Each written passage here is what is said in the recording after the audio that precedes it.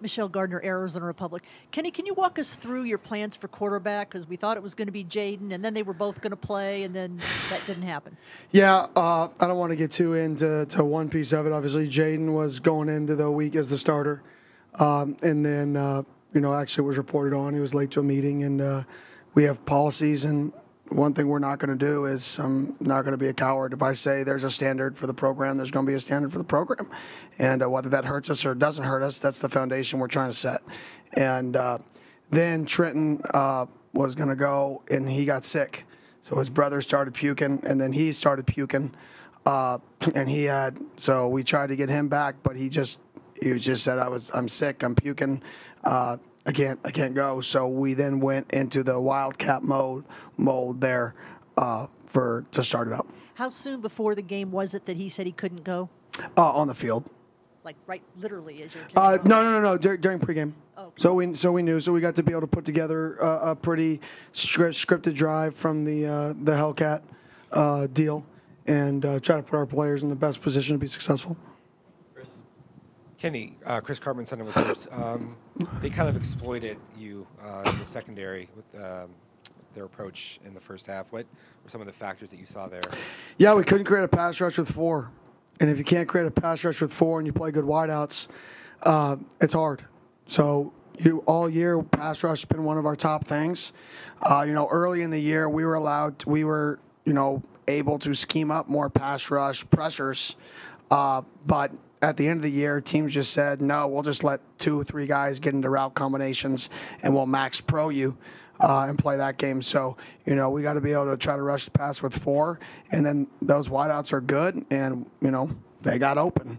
Sounds boring and simple, but simple as that. You give a, a good quarterback enough time to send two NFL wideouts down the field and you can't hit them, uh, they're going to get open. So, uh, we got to go back to work, try to get better in the off season, and we will, and uh, go win next year.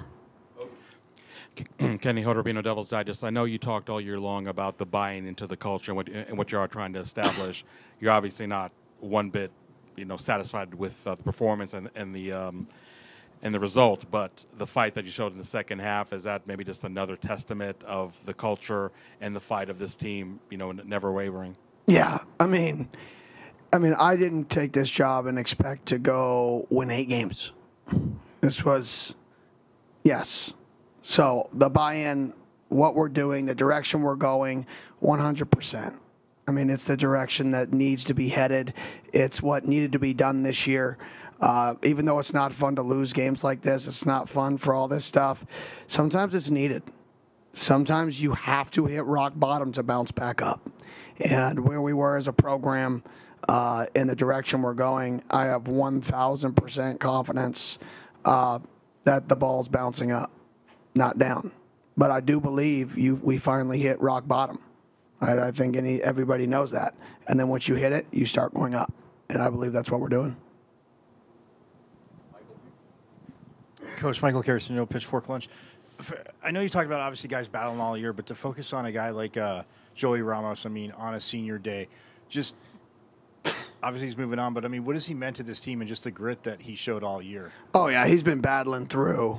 I mean, God knows what, just to fight. So he's a competitor. As a competitor, he's a fighter. I mean, he's.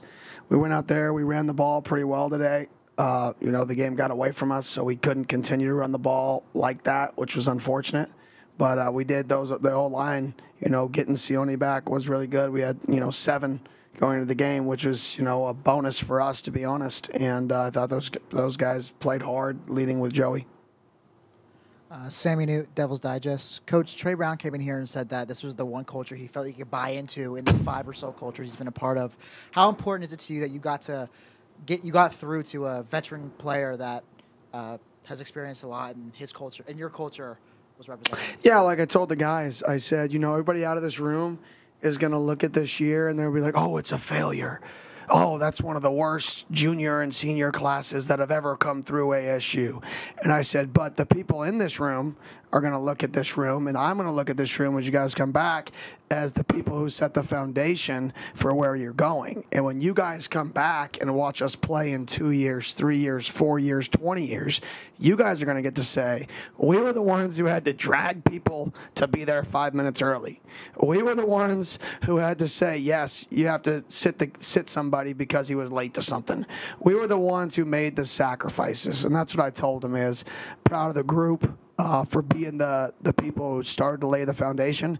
And even though the outside world won't appreciate it, I do. Hey, uh, Kenny, what do the next couple weeks kind of look like for you and the staff in terms of reflecting and learning maybe from this year and then starting to turn the page? Yeah, I have exit meetings with uh, all the players and staff uh, starting Monday. So 180, 190 meetings, whatever that plays out to be uh, for the next four days. And then uh, fundraise. Like, I can go recruit. it's cool.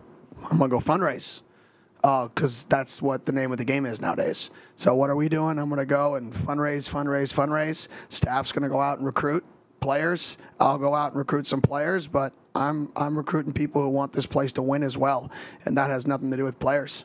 And uh, that's one of the most the biggest factors in, in college football right now. And you know that's my job as the head coach. It's not just the coach. It's not just to lead a culture. It's not just to get people to graduate. It's not just to have the highest GPA they've ever had here. Uh, the first spring we were here, it's not just that. It's all inclusive. And the longer I'm the head coach here in year two and three, there are no excuses. There's never excuses because that's where college football is different than the NFL. It's different because you pick everything that happens in your program, you're in control of. So when we're in year two and we're in year three, when you're in year four, everything is 100% a reflection of what I've allowed to happen. And uh, that starts with donors and fundraising and getting people involved. So I got to go do that this week.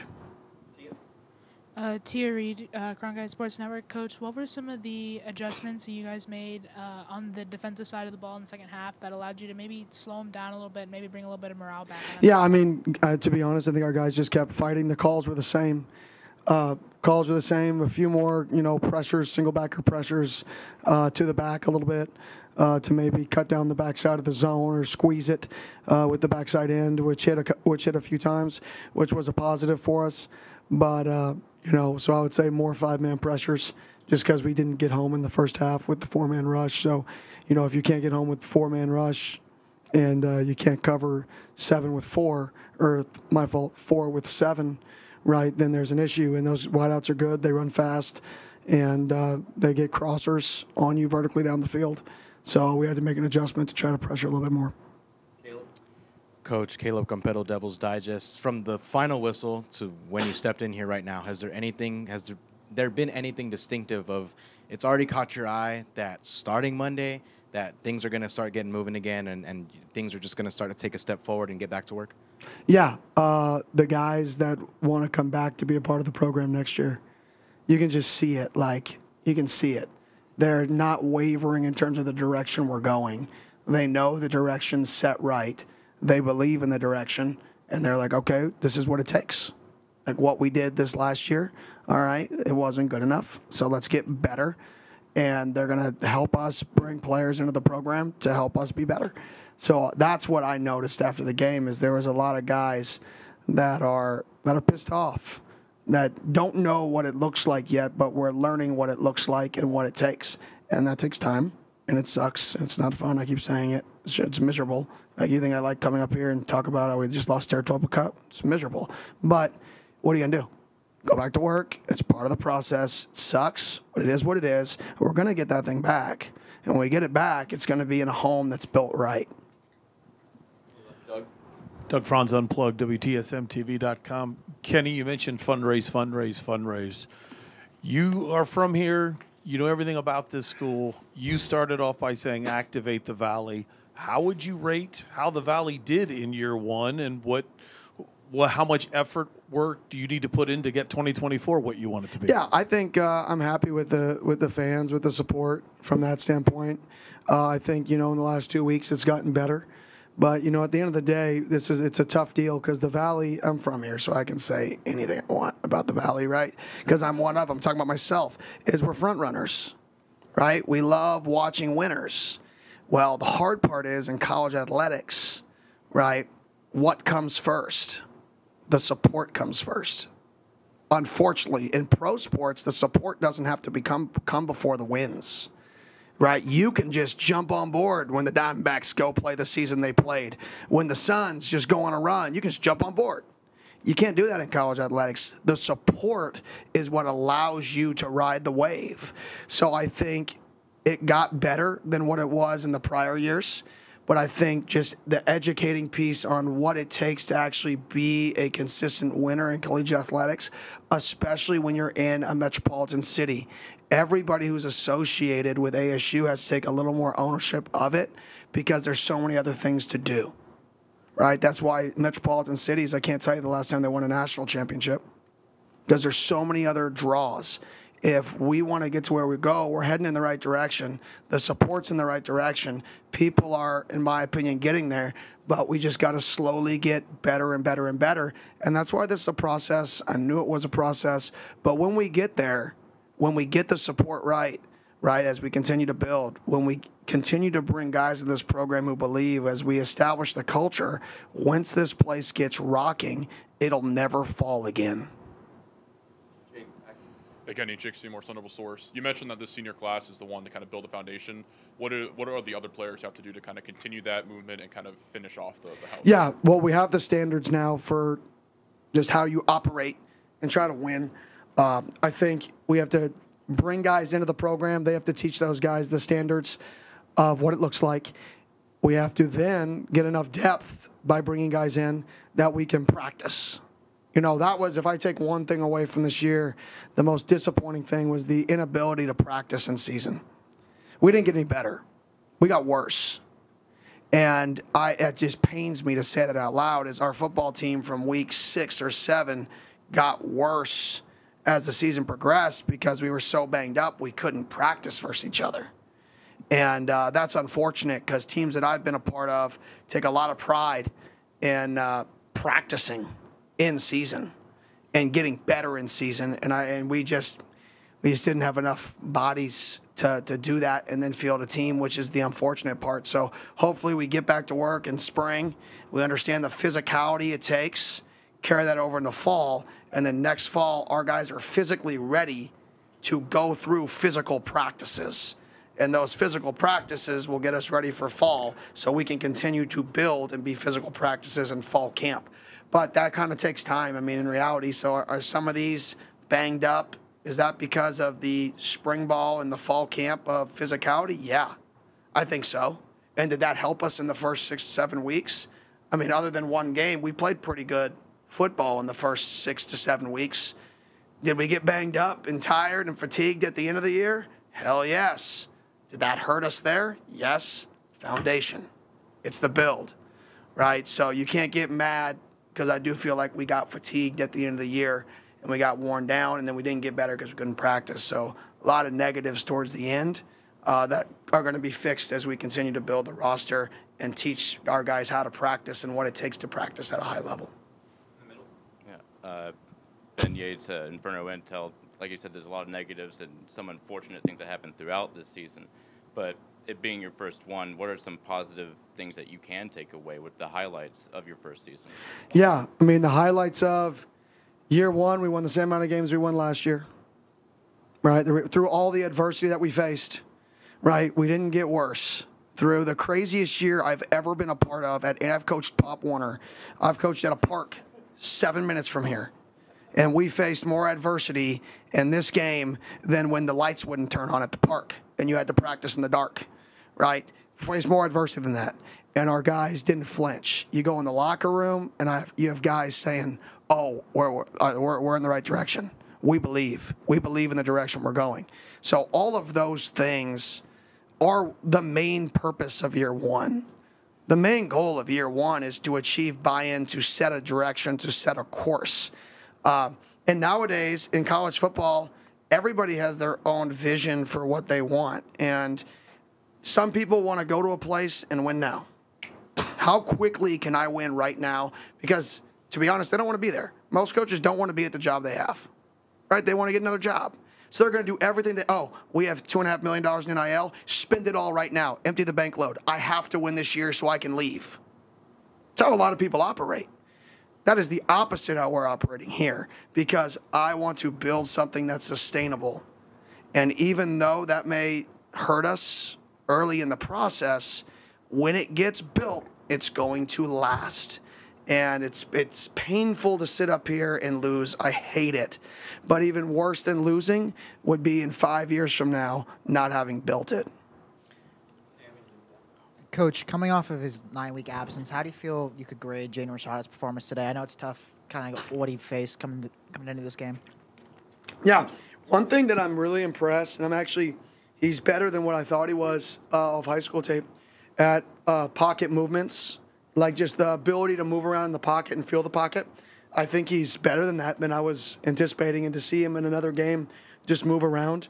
Uh, where there's some things that like he comes off the field and he's like, golly, yes, he's a freshman in the third start, right? But did he deserve to start? Yes. Was he ready to start? Yes. Uh, so I so he made a great throw at the end there. Uh, we didn't have procedural penalties with a freshman in the game. Uh, you know, he operated the offense uh, fairly well.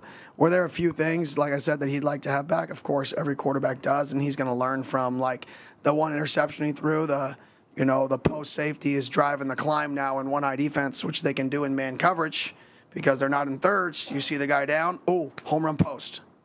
But for him, that's a learning experience because if it's cover three, you're going to throw the climb all day off the action. Being able to recognize, oh, safety's down, or hey, the nickel's attaching to the crosser. Oh, it's man, locate the post safety, he's down. Those things you can only get through just practice and reps. So I was happy with him. I mean, I'm happy with the direction he's gone. Uh, he's a Sun Devil. Uh, he's passionate about this place, and uh, I have a lot of confidence in uh, him moving forward. Yeah, Zach Tipton, Burn City Sports. Uh, Coach, this is the final game of the Pac-12. Uh, and what have you learned from facing, you know, Pac-12 offenses in this incredible conference this year that will help you going into the Big 12 against brand new teams that most of the players and you have never faced before? A lot of good quarterbacks, a lot of good wideouts this year. I mean, this is arguably the best Pac 12 has been, I mean, in a long time since the USC era of Matt Leinart and Reggie Bush, maybe, but I don't know if it was this deep. Uh, I think this is the, I think we faced a very, very, very difficult schedule when you truly look at it because how deep the Pac 12 is. And I think that's only going to, you know, callous us moving forward, which is a good thing. You don't want things easy. Nothing in life easy is good. You want things hard. You want things gritty. You want things to be difficult. You don't love these moments, but they're actually good for you. They're good to feel the pain. It's needed in order to get to where you want to go.